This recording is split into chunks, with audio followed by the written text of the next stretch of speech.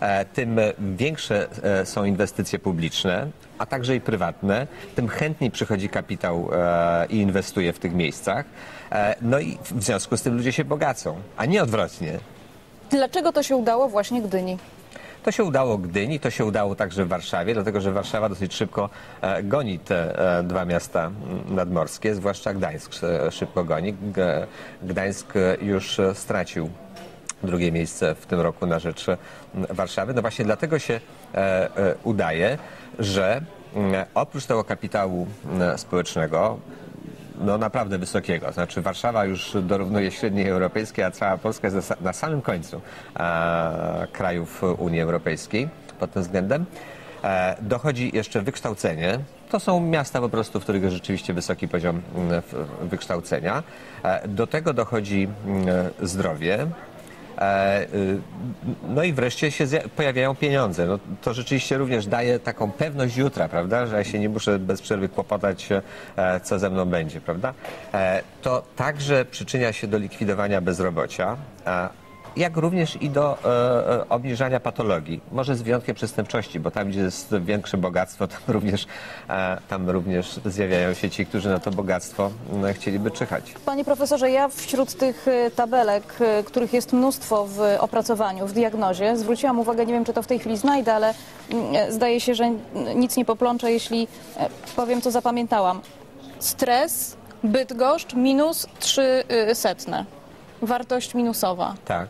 Co to znaczy? No ale wie pani, e, gdzie jest największe natężenie stresu? E, Tam, gdzie ludzie są najbardziej aktywni. E, No, to także wynika z diagnozy społecznej. Najniższy, naj, najniższego poziomu e, stresu doświadczają emeryci, którzy siedzą przed telewizorami. Nic nie Czyli robią, jakość nie życia w Bydgoszczy nie najlepsza, jak y, wynika z diagnozy, wcale nie generuje stresu.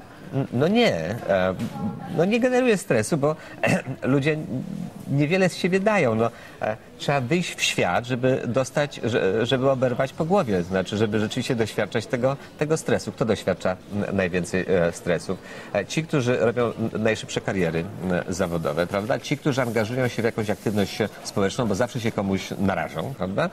Wreszcie tak, ci, którzy mają męża, żonę, czyli żyją w stadle, bo to też jest źródło stresu, ale lepiej mieć taki stres niż być samotnym, bo co prawda wtedy nikt się ze mną nie kłóci, mm, no ale egzystencjalnie moja sytuacja nie jest do, e, do pozazdroszczenia, e, bo jak coś smutnego mi się przytrafi, to naprawdę nie będzie miał mnie kto po głowie pogłaskać, pocieszyć. W każdym razie nic nie robienia i niskiej aktywności nie polecamy jako sposobu Nie. na E, W odstresowanie związku z tym ja bym się tych stresów nie bał. Rzeczywiście Warszawa doświadcza mm, potężnej dawki stresu, gdańszczanie i gdynianie mm, również, ale to nie jest ta, ta kategoria stresu, która zabija. To jest raczej ta kategoria stresu, która wzmacnia. I na zakończenie przygotowałam sobie fragment pańskiej wypowiedzi z zeszłego roku. Brzmi ona tak. Polacy należą do istot nieścieralnych, cokolwiek by się złego nie wydarzyło, odzyskują wigor i zapał do szukania jakiejś możliwości, żeby wyjść e, na swoje.